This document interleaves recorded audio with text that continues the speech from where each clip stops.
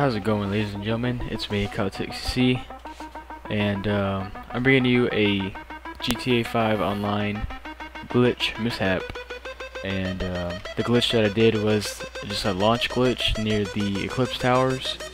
There's like a little gate that you can uh, take cover behind and then like walk into it or drive a car into it and it'll launch you wherever but there was a blown up Mini Cooper at the gate and so I drove my car was on the inside of the parking lot and so I drove into the Mini Cooper and then my game like lagged like hardcore and then I just came up with a blue screen and then started then it put me into this situation to where I'm just falling out of the atmosphere.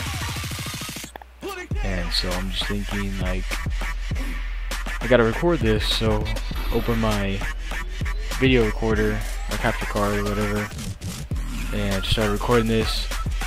And it's about, I don't know, a minute. It's about two minutes of me just falling. Oh no, it's pretty cool. I'm just falling from the atmosphere. I couldn't do anything. I couldn't open the selective menu. All I could do was look at the map. But when I looked at the map, I was off. It would put the cursor into the sea, and uh, it just I would be nowhere near the main island. So you can see that I'm getting closer, and then I hit water, and so I'm just like chilling there on my phone whatever because I think it's gonna last forever but I actually hit water so I had enough time to swim up and actually committed suicide in the water. So it was all good. They don't care.